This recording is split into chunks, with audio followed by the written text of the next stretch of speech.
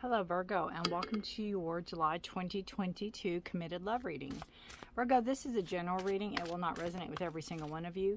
So please take what resonates with you and leave the rest. Feel free to check your moon and rising signs if there's more information in those for you for more guidance, more clarity. If you have more than one partner, Virgo, you will have to discern who this is who this reading is for, or feel free to check out your um, other partners moon and rising signs and sun signs as well to get some more clarity and guidance in relationships for you. Um, as always, I appreciate you all being here. If you're new, thank you so much for being here. My name is Rudi. I appreciate you all so very much. And if you're returning, thank you so much for your trust, your support, your likes and subscribes, all your energies. Um, I really love hearing from you all. I really love the comments. I really like connecting. Uh, I try to answer everybody if you have a question and I do try to answer everybody. So uh, just keep all that coming. I appreciate you guys. Um, all right, I'm trying to smudge here real quick. There we go, without burning myself and all involved. Ah, it smells so good. All right, we're to pull three cards for um, overall energy for you. And then this eye will be for you. This eye will be for your partner. And we will do oracle cards and um, clarifiers as well. So stay tuned for all of those. All right, Virgo, let's see what we have. Committed reading for July 2022 for Virgo and their partner. What does Virgo and their partner need to know about July 2022? All right, Virgo. Beauty. Beautiful.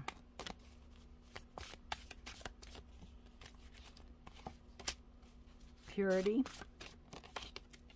and trust. Wow. Look at that card. Isn't that gorgeous? All right, beauty, purity, and trust. Now, um, I always start with the middle card because I think it is the most strongest in the in the in this setting.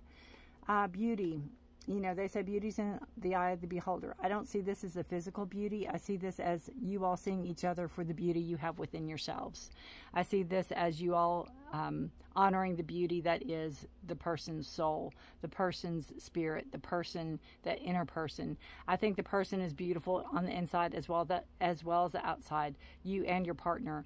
But you see the beauty in the person, not just on the outside. Because you know, obviously, when we love somebody, they're beautiful no matter what, right? Um, but you see the beauty on the inside as well. You see this this beautiful person we have purity. And, um, you know, my first hit with this card was that maybe this is your first relationship. Maybe this is the first time you're together. Um, maybe you are, I mean, you could be in a relationship and not um, have it sexual. I mean, that's a possibility, right? That's a, um, the, the point too i feel with this is that you try to keep your relationship pure. You you try to maybe take care of yourself and maybe don't let other influences in you know uh, uh, you're obviously you i mean not obviously but you could be monogamous. You could maybe don't want anything to quote unquote come into the relationship. That's a possibility with purity. And you have trust. And i feel with this card is there's trust in you and trust in your partner. And I feel that you feel that you can trust each other with anything. I feel there's truth in this relationship. I feel that you kind of reveal your soul to this person as they do to you, especially with the beauty.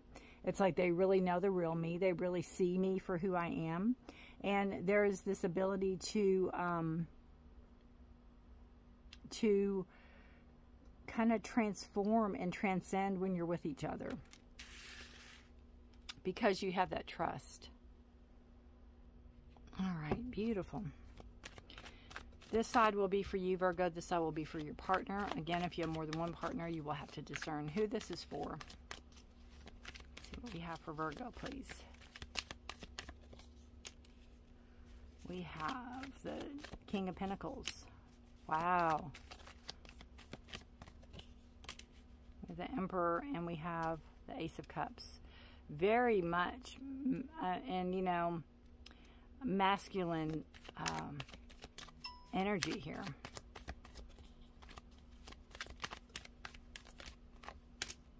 Partner has a Seven of Pentacles. Your partner has a Three of Pentacles. And one more card, please. That's how I know. See, it, I only got two here. I was going to say that's how I know because it, it doesn't go anymore. You have Temperance and the Hermit. Interesting. Patience. Patience, patience, patience. If ever there's two cards that talk about having patience, taking your time, don't rush into things, is those two cards. All right.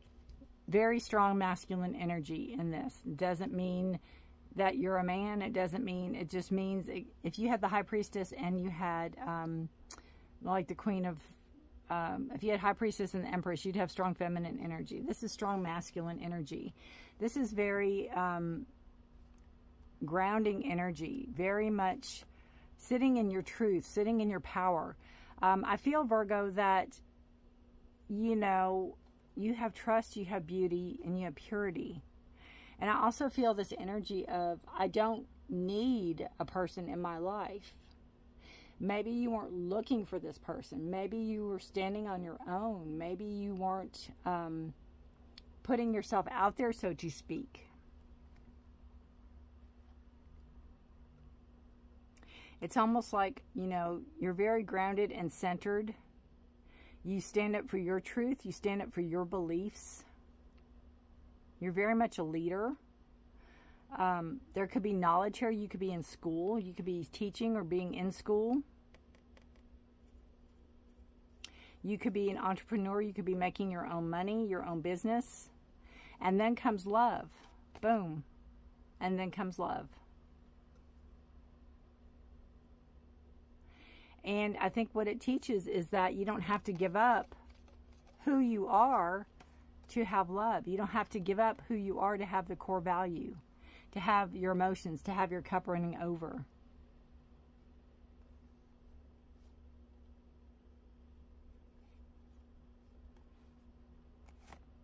I don't feel like this is um, I'm in charge energy. I just feel that it is a um,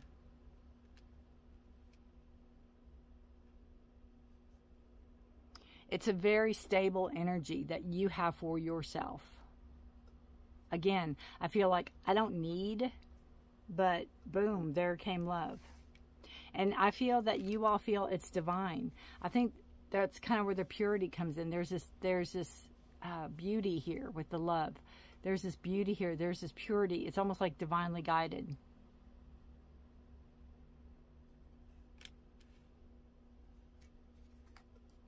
And it could be with the King of Pentacles and the Emperor. It could be where you and your partner together are strong. You and your partner together can do things. You and your partner together are a force to be reckoned with. But I have a feeling, Virgo, you alone are a force to be reckoned with in a good way. Your partner is, you know, a hard worker. Your partner knows what it takes to make ends meet. Your partner knows what it takes to get from point A to point B. Your partner knows what it takes to get what you all want out of life. They're not afraid to put in the hard work. They're not afraid to show their work. They work well with others. They work well with you. You all get along very well together. Um, they can have um, I almost feel Virgo like your partner's the one that is um, kind of the planner and you're the doer kind of like your partner's the one that's like we're gonna paint the living room pink or green or whatever get everything set up and then you all will do it it's like you implement it. They they come up with the ideas or they come up with whatever and you all implement it. You all work well together though. It's like they could be better at making the decisions for what needs to be done and you all work well together. You all you know your partner could be also like maybe a contractor or somebody that knows how to do things and maybe teaches you. It's like they could say, you know, we really need to um, seal the basement and you you're like all right let's do it it's like you're on board with anything they want to do you're on board with anything that they come up with you're on board with it it's not like you're against it but they they almost are the ones that um, come up with the ideas in the relationship again they're very grounded, very stable. Taurus, Virgo, Capricorn energy. We have the Hermit, a Virgo card. You showing up in your partner's reading. We have Temperance. Card of Sagittarius. These both talk about not being in a rush. Not being in a rush. Take your time. Think about what you want. Think about how you want to move forward. Think about where you all want to go. Not being in a rush. You know, this relationship, Virgo, could have caught you both off guard because I think you were living life and then boom. And I think they were going on with whatever they're doing and and you know, you all are working well together, but they're like I think things might have happened really fast for you all. I think too that kind of comes in with the beauty card. It's like when one soul sees another soul and sees that person, it's hard not to unsee them. You know what I'm trying to say? When you know that's out there and you know that they that that they have the purity, that they have that honesty, that they have that kindness about them.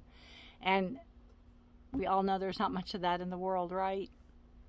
So when you see it and they have trust,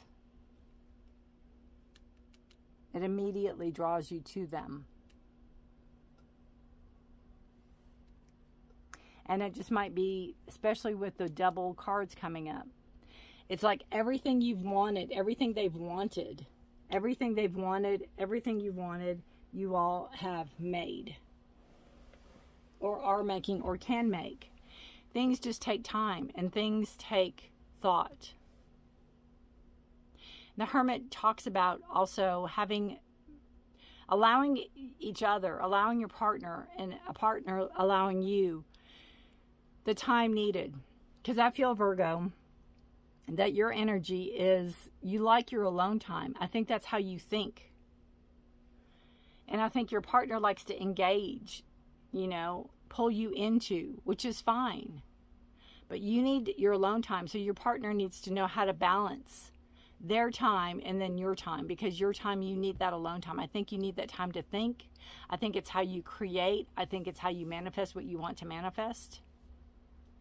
And they need to have that um, knowledge of you and know when it's okay to back off and let you be by yourself.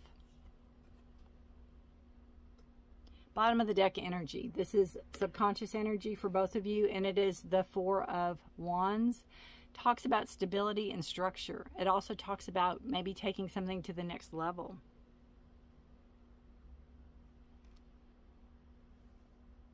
Possibly a wedding, possibly a, a celebration of some sort. Maybe planning a party. Feeling very safe and secure in the structure that you're in. And Virgo, you're all about structure. You know, you have the, the King of Pentacles and the Emperor. You're all about that stable structure energy. The Emperor's a four, and it's all about, um, you know, organization and power, structure, stability. Wands, fast moving energy. Aries, Leo, Sagittarius. Possibility of future. All right, Virgo. What does Virgo and their partner need to know for the month of July? What is their um, challenge for the month? Virgo and their partners challenge for the month of July, please.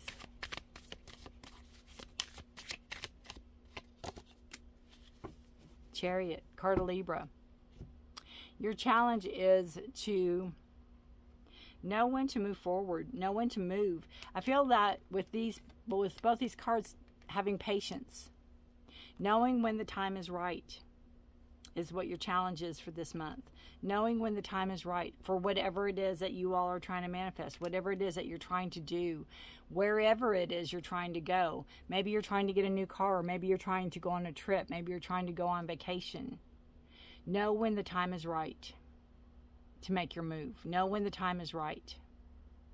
Your challenge. What action does Virgo? And remember too, Virgo, you're in charge. So you're in charge. It's it's almost like if you're booking a flight to be vigilant and watch and watch and watch and watch and then strike, right? What action does Virgo and their partner need to take for the month of July? What action does Virgo and their partner need to take for the for the action for the month of July? What action? Nothing. Hmm. The action you need to take is knowing when something's done, it's done. If there's something you're trying to revive, letting it go. It could be an aspect of the relationship, maybe you're trying to bring back. It could be um, personal, coming clean, personal trust, personal truths.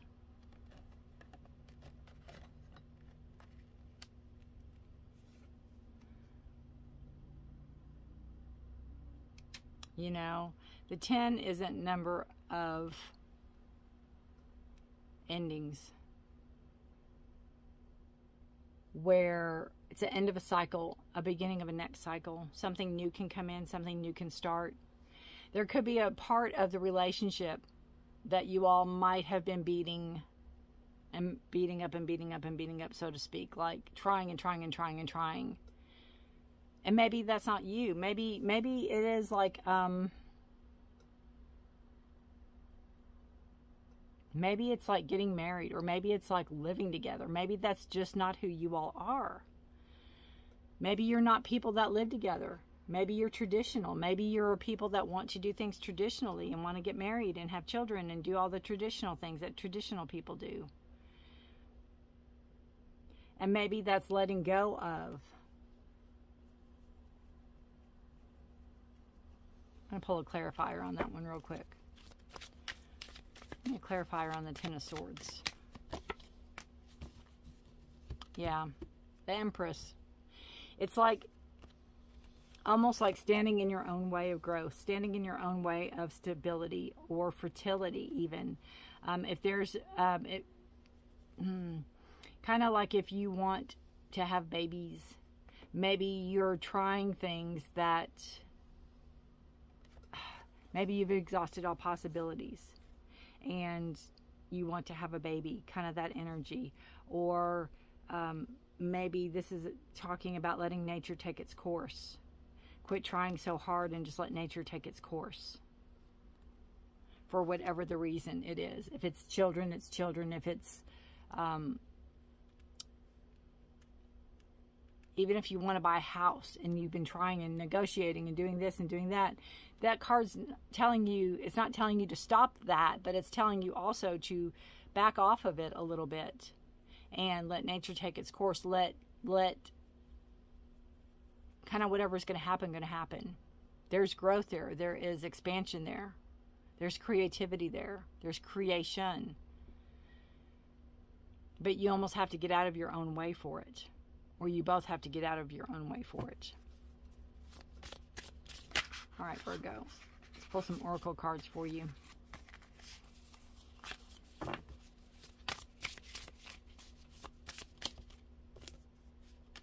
We have caution.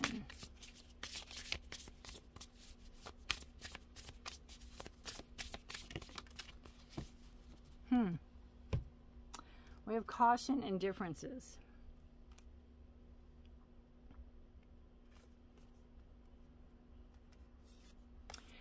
I just think this talks about I think you all are both different. I think you're very different. And I think there could be caution in the sense of rushing. Again, I think this happened really fast for you all. And I think there's a, a caution. This could be where this happened really fast and maybe you got pregnant and then what? Energy. Or they got pregnant and then what? Energy. Proceed with caution is what I hear when I see this card. It doesn't talk about um, the past, it talks about going forward. Proceed with caution. And know that just because you all are together, it doesn't make you one. There will be differences. You need to learn how to communicate better with each other. I think that could be where this Ten of Swords is to that hurt energy. Swords are knowledge, swords are communication.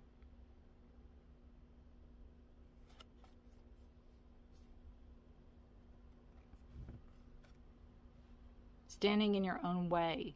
Maybe one of you being more stubborn than the other one. There's differences, but you have to learn to live with your differences or not. I mean, you don't have to. But in order to move forward and stay with the relationship, you will know that you all are both very different people that are drawn together. What's the saying? Opposites attract? One more card for Virgo and their partner, please. Tiger. Love it.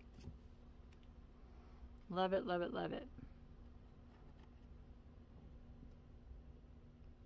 I see this as again, it goes back to your Emperor and your Pen uh, King of Pentacles. Stoic.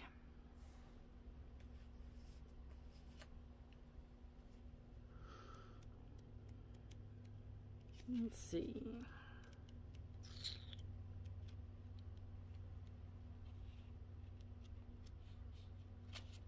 Mm, looking for it. Hang on a second. All right, the tiger energy says overcome adversity through personal power. Exert a strong will to push through tough times. Exactly. That's exactly what I've been saying. Exert a strong will to push through tough times. You got tough times, there's caution. Be careful going forward. But you have this strong energy that encompasses you, Virgo. And this is telling you that you might have to, if you want this love, if you want this union coming in, you're going to have to dig deep and overcome a lot of differences in order for things to work. There's a lot to overcome in order to move forward. Beautiful.